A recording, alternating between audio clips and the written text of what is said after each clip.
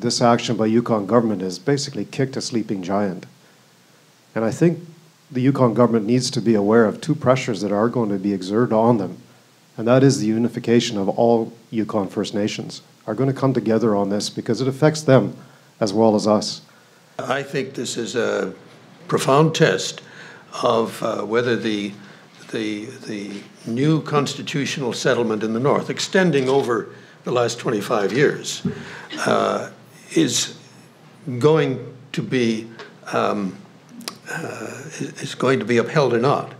Uh, and that's the purpose of this lawsuit. Whether governments are obliged to live up to those land claims agreements, entrenched, as I say, in the Constitution of Canada. Now, a commission was established called the Peel Commission, uh, jointly by the government of Yukon and the First Nations in 2004. The Peel Commission spent seven years and consulted widely with Yukoners, and in 2009 recommended that 80% of the Peel watershed be protected and 20% be open for oil and gas and mineral development. After due consideration, the government of Yukon decided that it would not reject it, but would simply propose certain modifications to the recommended plan. Now, that was a choice binding on the government of Yukon. The Peel watershed is one of the last remaining ecologically intact wilderness watersheds left in North America. It's over seven times the size of Yellowstone National Park. People travel from all over the world to paddle these wild rivers in the Peel watershed and to experience this vast landscape which, where nature unfolds as it has since time immemorial. The public wants to see this area protected Government says their plan is balanced. But where is the balance when you consider that more than 80% of this vast, wild place that is so important to First Nations and the public is open for business? Is it really so much to ask that some priceless places remain free of roads and industrial development?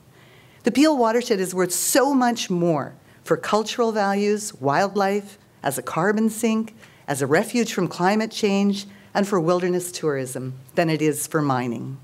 The Tr'ondëk Hwëch'in are not against responsible mining and responsible industrial development. We have lived closely with mining for over 100 years. Many of my people are miners or work in the mining industry. We have excellent relationships with mining companies that we work hard to maintain. That said, we do not want to see mining in the Peel watershed. To us, that land and water is sacred and should be preserved for future generations. Gotta be preserved for future generations.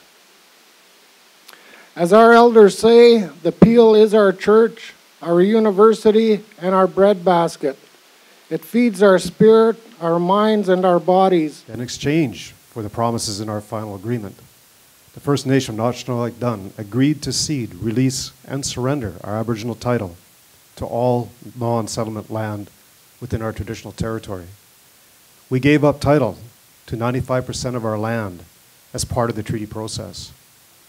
Number two, the Yukon government's unilateral decision to accept their own land use plan has now thrown seven years of hard work in land use planning out the window.